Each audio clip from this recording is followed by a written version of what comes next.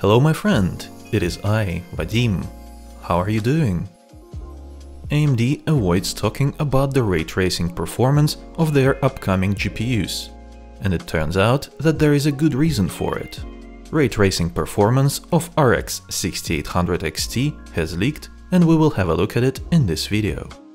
I just want to remind you that RX 6000 graphics cards will support DirectX ray tracing or DXR for short. It is the most widely used standard in current and upcoming games. I am happy to see that AMD didn't go the same route as Nvidia with their proprietary RTX technology. By the way, DXR works on all RTX Nvidia GPUs.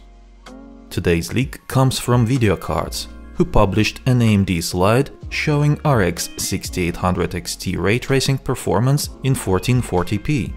This slide was supposed to be shared with the public after the GPU sales begin, so it is good that we have access to this leak. If you are planning to get one of the new AMD GPUs and ray tracing is important to you, you may want to have a look at the performance and think again before making the purchase. Thanks to the fact that AMD uses the same PC as before to benchmark this ray tracing performance, I can show you the performance difference with ray tracing on versus off. In Battlefield 5, the difference is huge. 130 FPS is lost when ray tracing is enabled. From 200 FPS to 70 FPS just like that with one push of a button. RT is definitely not worth it in this game. In Modern Warfare we see a drop from 147 FPS to 95, which isn't too bad. It will still look decent on high refresh rate monitors.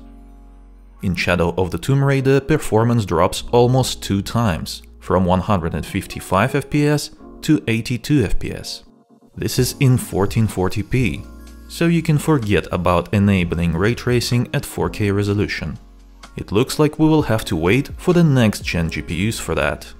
It is disappointing, but I expected something like this when AMD avoided talking about ray tracing performance during RX 6000 presentation on stage. That is all for now, what do you think about it? Let me know in the comments below. And while you're there, hit the like button, subscribe for more, and click on that bell icon to enable notifications. Also, follow me on Twitter at iVadimTech to stay in touch and see more content. It was I, Vadim, Thank you for watching and have a nice day.